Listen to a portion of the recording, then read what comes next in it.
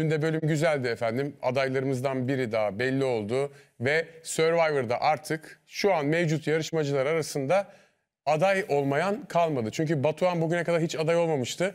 Batuhan da aday oldu. Şu an bir potamız var. Ee, potada Batuhan var, Ayşe, Ayşe. var ve Oraya bir tane daha bir ünlü girecek. biri daha girecek. İki tane ya kaybettikleri ünlü ya gönüllü, gönüllü bir de ünlü, girecek. Aynen. Ve dörtlü potamız bu akşam SMS. Yarın da bir kişi Survivor'a veda edecek. Batuhan'ın aday olması için ne söyleyeceksiniz? Ya beklenilen bir sonuçtu. Çünkü takım olarak e, orada olsaydım ben kimi yazardım?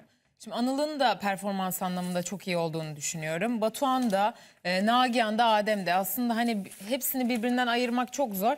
Ama artık sıra Batuhan'a gelmişti. Hem arkadaşları tarafından söylemler olsun. Hem işte Batuhan'da sen çok bireysel düşünüyorsun denildi.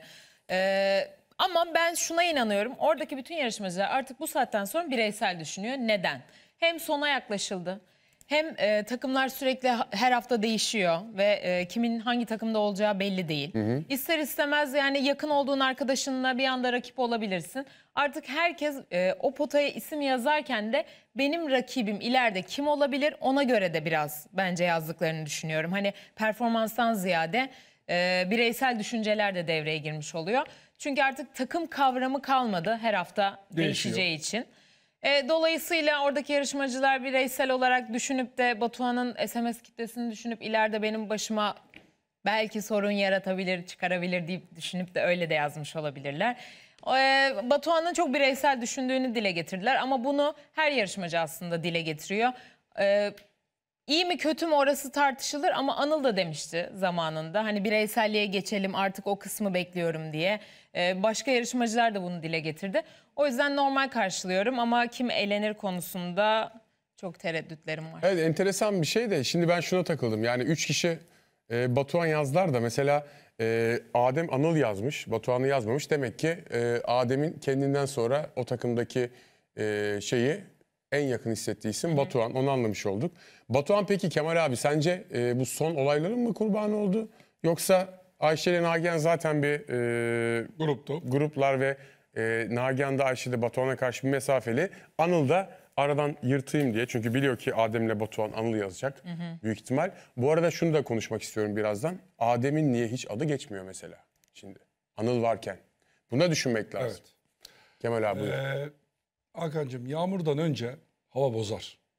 Bir rüzgar eser. Bir sertleşir ortalık. Ondan sonra yağmur yağar.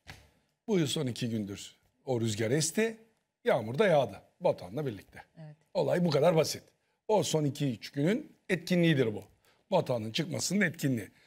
Kişisel düşünüyorlar, bencil düşünüyorsun diyorlar ama aslında Damla'nın dediği gibi herkes şu anda bu saatten sonra herkes kendini düşünüyor. Benden sonrası tufan. Ne olursa olsun. İlk önce ben. Can. Can önemli. Canını kurtaracaksın ki yaşayasın. Önce Can sonra Canan mı? O kadar. Net. Bak net Damla söylüyorum. abla bizi izliyor mudur şu an? Efendim? Damla abla bizi izliyor mu? İzliyor. Ona da selamlar olsun. Selam. Önce Kemal Ama- abi sonra Canan. Yok. Orada Can o. Vay bravo Kemal abi. Süper. Benim için Can e, eşim ve çocuklarımdır. Ondan sonra ben gelirim. Peki Canan kim abi o zaman? Canan e, yan yanda etkenler vardır. Yanda etkenler vardır onlardır Can. Bizler de Can'ın arkadaş bir altıyız böyle. Yok, Orada siz- bir yerlerde Ama bir yerlerde geziyoruz ama. Bak ya topu aldı Tümit söyledim ya aldı götürdü nereye getirdi ama doğru. E, bu böyle herkesin e, görüşüne de saygı duyuyorum. Bu benim için geçerli. E, böyle bir durumda Batuhan'ın biraz daha hareketlerine dikkat etmesi gerekirdi. O konseyde konuşması, Ayşe ile olan diyaloğu e, bir önceki konseyde e, yaşananlar e, sitem etmedim e, deyip aslında sitem ediyor ama orada da Adem'in onu bir köpürtmesi var. E, Batuhan'ın bu sistemini. Sonuçta olaylar dayandı dayandı dayandı. Aynen. Batuhan'ın isminin çıkmasıyla netleşti. E, burada mesela Anıl'ın yazılmaması bu planda Batuhan'la Adem daha önceden yani kırmızıyla beraber hareket Aynen. eden bir takım. Bana kalsa Batuhan'ın yanında alması gerekirken Anıl'ı tercih etti Adem. Bu da e, dikkat çekici bir konu ama kaçarınız yok. Hepiniz Mesela yazılacaksınız. Adem Batuhan, ay şey Batuhan mı yazmalıydı anlamında dedin abi? Yok. Hayır. He. Adem Anıl yazdı ya. hı. Batuhan'la birlikte yani kırmızı takım şey var ya. Evet, ya e, biraz ilk- Öyle biz en- en başladılar eski zaten. kırmızılarız. Evet. Ha, en eski kaldık yani gibi. ben ne olursa olsun ondan ayrılmam felsefesiyle hareket etti. Bu da normaldir yani mantığım alır. Ama e, üç tane şeyin çıkması da öbür tarafın. Hani biz de mavilerle de geldik hareket ettik. Biz de onun dayanışmasıdır. Ama bundan sonra zaten bir tane daha iki tane kaybettikleri için bir tane daha ünlü ismin çıkacak. Bugünü kaybederlerse e, bugünkü dokunulmaz şey e, performans birincisi kimse onun dışındaki belki oylama bile yapılmayacak. Herkes potada olacak. Demin Can ve Canan dedik ya. Evet. Can deyince mesela vücutta hangi organ aklına geliyor? Kalp. Kalp değil mi? Bak görüyor musun? G harfini kalbime koymuşum ben. Bak ya. İşte hem Can hem Canan görüyor musun? Konu buraya kendi geldi ama bunu da söyleyeyim. Ee, demin biri yazmış. G gönüllerin G'simdi. Hayır tabii ki Gizem'in G'si. Her zaman kalbimizde. Renk Gizem'e de olarak da lila. gönderelim. Her zaman e, lila da en sevdiğim renk oldu Bak artık. işte söylüyorum. Ee, evlat ve eş. Bunlar senin canındır. Aynen. Bak sen senin senden de öndedir. Bir can var candan öte. Aynen öyle. Çok Senden değerli, ötedir. çok başka. Benim şöyle bir düşüncem var bu konuyla alakalı. Ee, şimdi Batuhan dün e, geçen seneyle ilgili bizim de katıldığımız bir serze, serzenişini söyledi. Söylediklerinde bence çok haklıydı. Sadece söyleme tarzı yanlıştı. Ee, öyle bir aksettirdi Evet. ki konuyu işte hani e, sanki Ayşe konuyu buralara getirmiş falan hani e, biraz şey yaptı ama o konu Ayşe'nin e, önüne öyle geldi. Yani geçen seneyi çok iyi izleyenler bilirler. İki ailenin e, arasındaki münakaşa ki böyle bir şey yaptıysa zaten Ayşe'nin ailesi hatalıdır. Evet. Her zaman söyleyeyim. E, Ayşe ile Aleyna'nın önüne geldi. Ayşe mi Aleyna mı Ayşe mi Aleyna mı bu kavgada bu tartışmada kim haklı kimin ailesi haklı derken Batuhan gibi Survivor'ın gerçekten ana karakteri ki bence Aleyna ile Ayşe'nin de e, önünde bir şekilde böyle ilerlediği sırada bir anda o haftalık magazinle Batuhan gümbürtüye gitti. Ve hepimiz dedik ki Batuhan'ın hakkı yedincilik değil daha ileri gitmeliydi. Evet. Şampiyonluk zordu bence ama Doğru. e, daha ileri gitmeliydi dedik. E, şuraya geleceğim.